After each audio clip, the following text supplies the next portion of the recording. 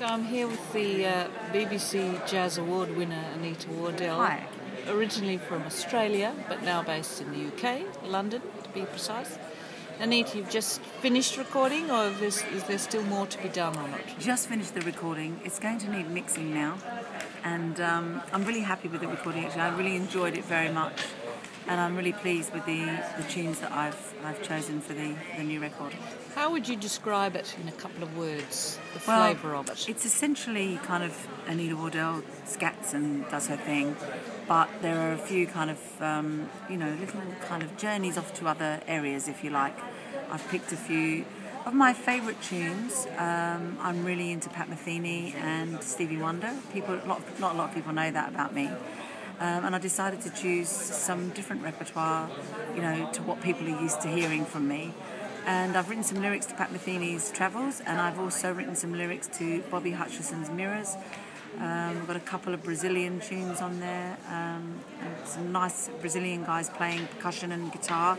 So I, I think it's going to be a very different album to what people expect. However, at the, at the, the essence of it is still very much about what I what I do, which is my love of bebop and, and improvising. Very good. And um, in the past, have you played as much of a role in, you know, the way it should sound or the way you'd like it to sound? Are you a producer on this record too?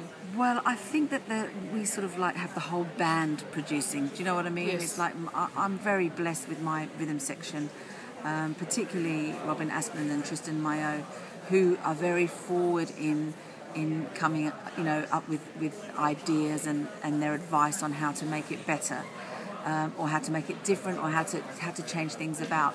So in that regard, I'm, I'm really kind of grateful for them to, you know, to say, oh, maybe try it like this or try it like that, or you've done enough takes now, so that's, you know, that's enough.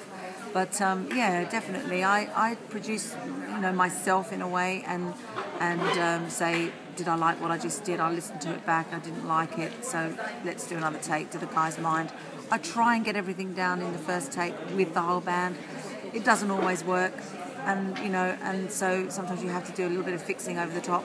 Um, I try to keep that down to a minimum if possible.